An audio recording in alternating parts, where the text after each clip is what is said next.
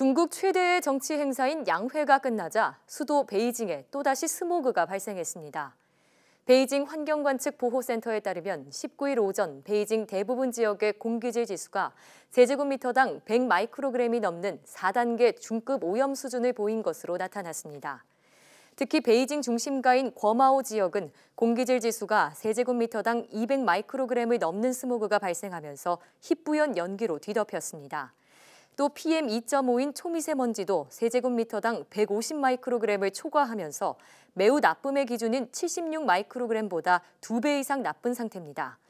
중국 생태환경부는 다음 주 26일부터 31일까지 베이징에 짙은 스모그가 발생하고 미세먼지 오염도 심각할 것으로 예상된다고 밝혀 양회가 끝나면서 공기 오염이 다시 심각해지고 있는 것으로 보입니다.